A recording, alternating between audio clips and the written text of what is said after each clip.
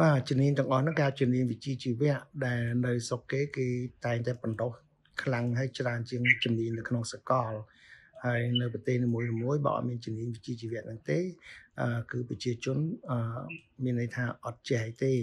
ចេះតែការងារប្រូគ្រប់គ្នាចេះតែការងារប្រូហើយលើលោកនេះការងារប្រូអត់សូវមានទេ គេមានភាគច្រើនការងារវិជ្ជាជីវៈដែលត្រូវការធ្វើ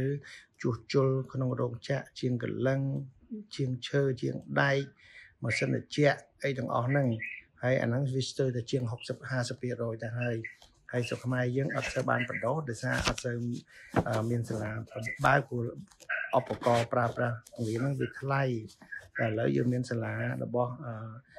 រដ្ឋាភិបាលបើកមកច្រើន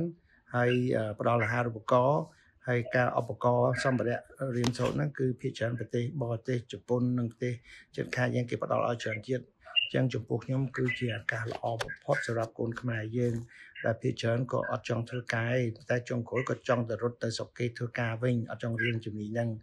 តែទៅដល់ស្រុកគេស្ទើរតែ90ជាង200ធ្វើការនៅជំនាញទាំងអស់ហ្នឹងឯងដែលយើងកំពុងតែព្យាយាមផងផលបដឲ្យរៀនហ្នឹងគឺជំនាញវិជ្ជាជីវៈអង់គ្លេសថា TVET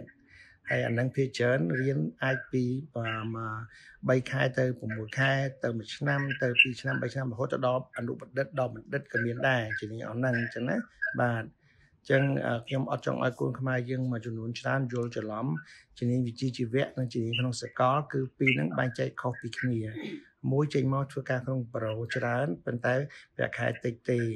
តែសំណុកសម្រាប់កូនគេអ្នកចង់សំណុកហើយអ្នកមាន មួយទៀតគឺត្រូវការធ្វើការក្នុងប្រូនិងខាងក្រៅជាមួយគ្នា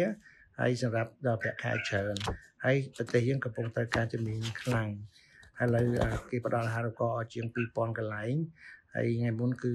សម្ដេចគាត់ថាមានគេផ្ដល់អាហារូបករណ៍ឲ្យប្រហែលលានទៀតលានដុល្លារទៀតនោះអាហ្នឹងគឺជាចំណុចល្អវិជ្ជមានមែនតែនខ្ញុំគ្រប់គ្រងបាទ